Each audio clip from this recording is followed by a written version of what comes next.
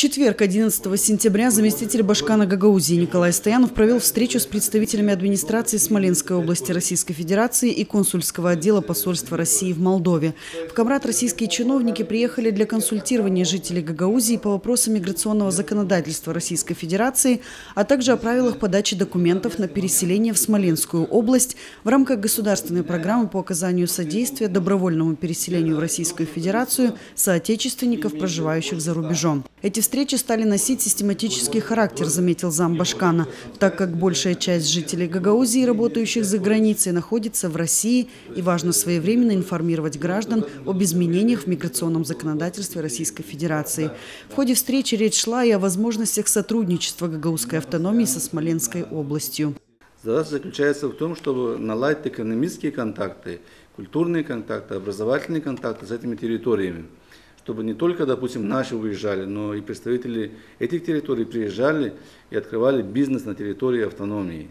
Но с другой стороны, если мы этим заниматься не будем, если мы не будем подписывать договора, и наши люди будут уезжать на эти территории, они просто не будут знать э, законодательную базу территории и могут попасть э, в условия, где будут нарушать законы.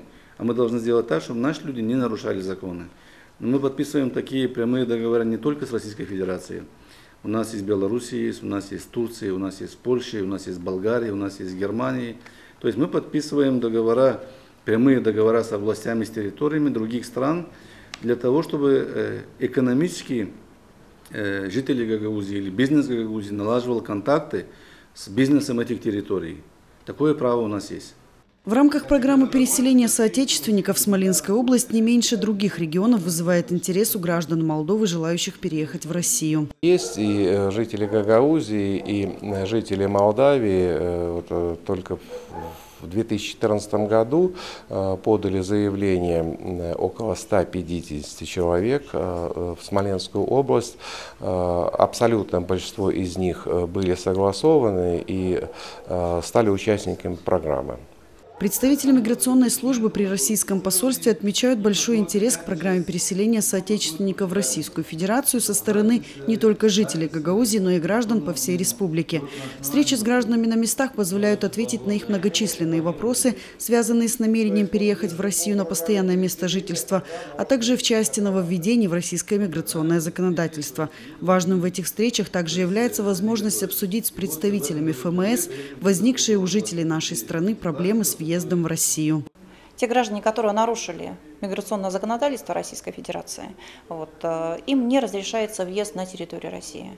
То есть они выезжают, покидают территорию России, но въехать уже будет невозможно в течение до трех лет. Э, Все зависит от того, по каким причинам произошло закрытие въезда. Вот. Но есть категории граждан, которым решения пересматриваются. В первую очередь это те граждане, иностранные граждане, это касается не только граждан Молдовы, это касается всех иностранных граждан. Вот если иностранный гражданин имеет супругу, детей граждан России, соответственно, решение пересматривается. Также пересматривается решение для студентов, которые обучаются на территории Российской Федерации. И таких категорий граждан довольно-таки много. Вот. Но мы на своих консультациях проводим, консультируем граждан, что необходимо соблюдать законодательство России в обязательном порядке, потому что нарушить просто, а вот затем въехать на территорию России, конечно, будет уже проблем, будет сложно.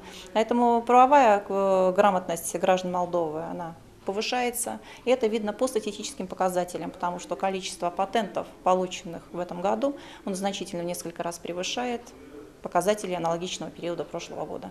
Как отметил Николай Стоянов, около 80% выезжающих на заработки жителей Гагаузии работают именно в Российской Федерации.